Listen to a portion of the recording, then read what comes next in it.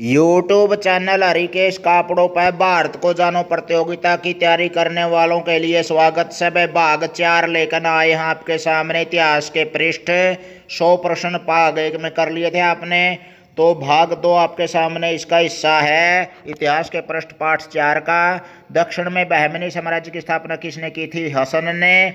और पांड्या राज्य का राजनीति और सांस्कृतिक केंद्र कहाँ था? मदुरई में। श्रवण बेलगोला में प्रसिद्ध जैन प्रतिमा गोमतेश्वर की स्थापना किस राजवंश के समय में हुई थी? गंग के समय में। भारत में मुगल साम्राज्य की स्थापना किसने करी थी? बाबर ने। और मुगल शासकों में एक बार राज्य खोने के बाद दोबारा गद्दी पर कौन बैठा था? हुमायूं। हिंदुओं पर से जजिया किस मुगल बादशाह ने समाप्त किया था? अकबर ने। अकबर के नवरत्नों में से कौन ब्रह्मदास उपनाम से कविता करता था? बिरबल। और वर्तमान में ग्रांड ट्रंक रोड, यानी कि जीटी रोड के नाम से प्रसिद्ध राजमार्ग को मध्यकाल में किस शासक ने पुनर्विकसित किया था? शेरशाह सुरी ने। आगरा, फतेहपुर, सीकरी, इलाहाबाद, यानी कि प्रयाग व लाहौर के किले किसने बनवाए थे? अकबर ने। दीन ए इलाही, धर्म का संस्थापक कौन था? अकबर। अकबर का मकबरा कहाँ पर स्थित है? सिकंदरा, यानी कि आगरा में। और शेरशाह के काल में दीवान ने रियासत किस विभाग से संबंधित होती थी? विदेशी मामलों से संबंधित थी दीवान ने रियासत। किसने बाबर को भारत पर आक्रमण करने के लिए बुलाया था? दौलत खान लोधी ने। अकबर ने आमेर के किस राजा की पुत्री से विवाह किया था? भारमल। और वह मुगल साम्राज्य में पंद्रह वर्षों तक व्यवधान डालने वाले शासक का नाम बताओ। शेरशाह सूरी। जहांगीरी महल किस जगह पर बना है? आगरा के किले में। 1608 में जहांगीर के दरबार में इंग्लैंड के राजा जेम्स का पत्थर लेकर व्यापार की अनुमति लेने कौन आया था? Captain Hawkins. शाहजहां का वास्तविक नाम क्या था? खुर्रम। और शाहजहां के उस पुत्र का नाम बताओ जो संस्कृत का विद्वान था, दारा सिकोह नादिर शाह के आक्रमण के समय दिल्ली पर किसका राज्य था? मोहम्मद शाह रंगीला का। भारत से लूटकर कोहिनूर ईरान ले जाने वाले आक्रमणकारी का नाम बता दो भाई। नादिर शाह था यू। असम के वे वीर कौन थे जिन्होंने औरंगज़ेब को परास्त किया था? लाचित। बड़ फुक्कन नाम था भाई। लाचित बड़ फुक्कन। और ये चाँद बीबी जिसने मुगल सम्राट अकबर की सेना से मुकाबला किया था किस नगर की शासक की पुत्री थी ये अहमदनगर के। और अंतिम मुगल सम्राट था जो बहादुर शाह ज़फ़र द्वितीय को अंग्रेज़ी सरकार ने देश निकाला देकर कहाँ भेज दिया था? रंगून में। मेवाड़ के प्रथम राणा का नाम बताओ गुहिल, और मेवाड़ के राणा बापा रावल का वास्तविक नाम क्या था? काल भोज और ईरान को अपने राज्य में मिलाने वाले राज्य का नाम बताइए बप्पा रावल। रानी पद्मावती के पति का नाम बताइए रतन सिंह। चित्तौड़ का प्रथम शाखा किसे कहते करते हैं रानी पद्मिनी द्वारा जौहर को।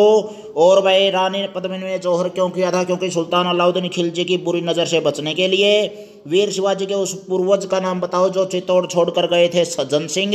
मेवाड़ के भीषम नाम से प्रसिद्ध व्यक्ति का नाम है चुंडा। और मेवाड़ के उस वीर राणा का नाम बताओ, जो संस्कृत का विद्वान, लेखक और कुशल शिल्पी भी था, राणा कुंभा।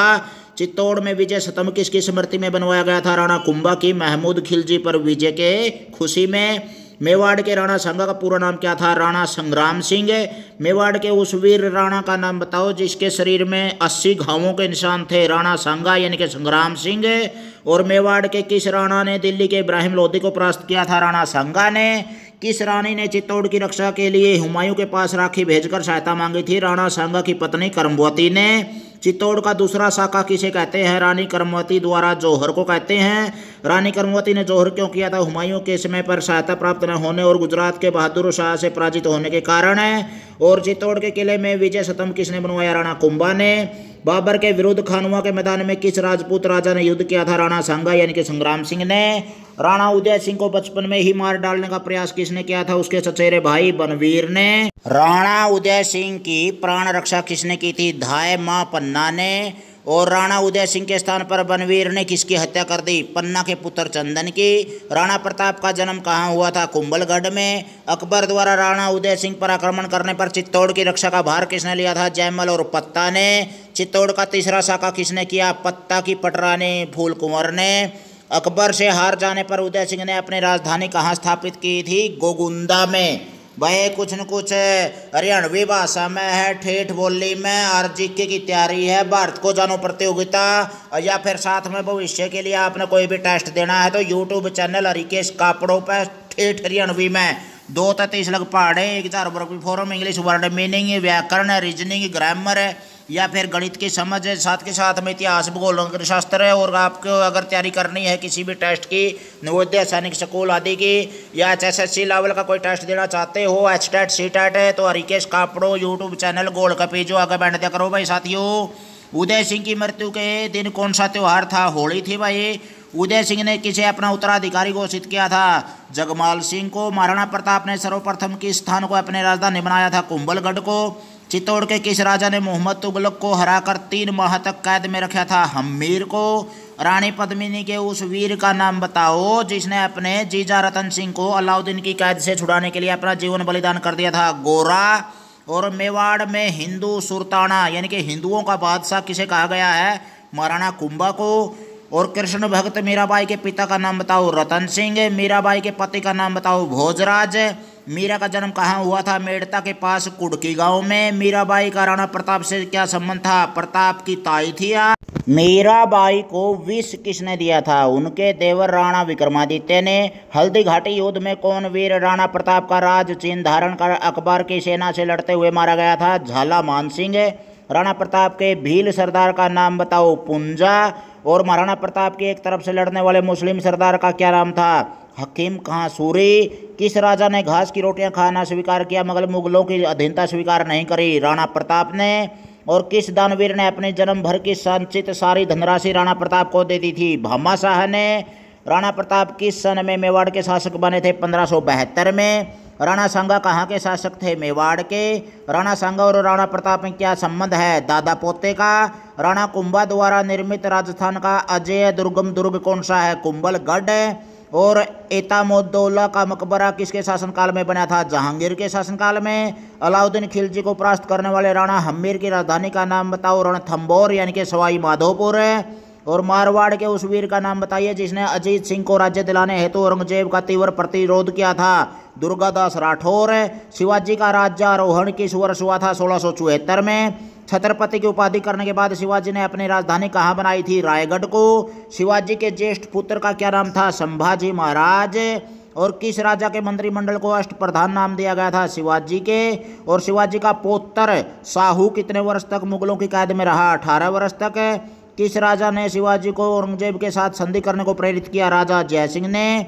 और मराठा शासन में प्रधानमंत्री को क्या पदवी दी जाती थी? पेशवा की। जिस प्रथम पेशवा ने मराठा राज्य का शासन अपने हाथ में ले लिया था, उसका नाम बताओ भाई, बालाजी विश्वनाथ है।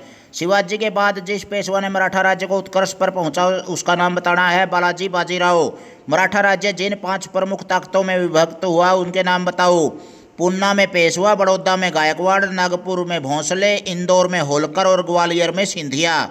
गुरु गोविंद सिंह ने किस मुगल शासक को गद्दी दिलाने में सहायता करी थी? बहादुर शाह यानी कि मुअज्जम को। राज्य आरोहण के समय राजा रणजीत सिंह की आयु क्या थी? 19 वर्ष।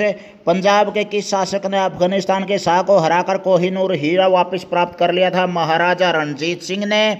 पंजाब में सिख राज्य के संस्थापक महाराजा रणजीत सिंह की राजधानी कहाँ थी? लाहौर में।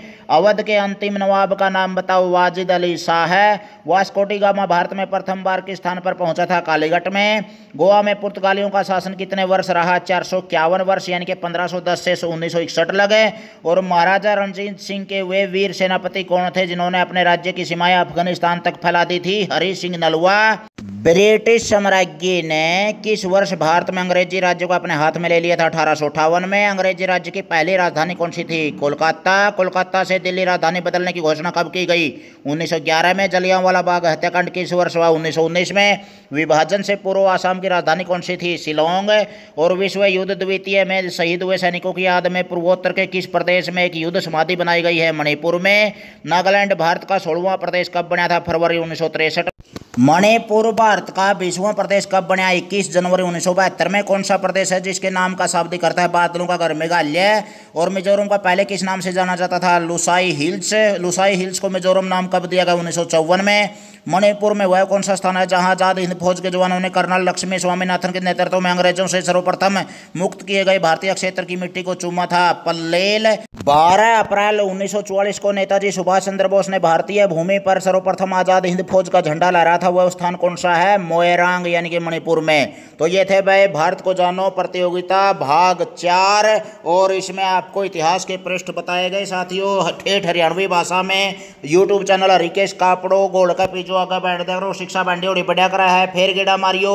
बहुत सी सारी किताब आपको इसी तरह से ऑडियो के रूप में मिलेगी, टेस्ट की तैयारी करने में। बहुत बहुत धन्यवाद साथियों।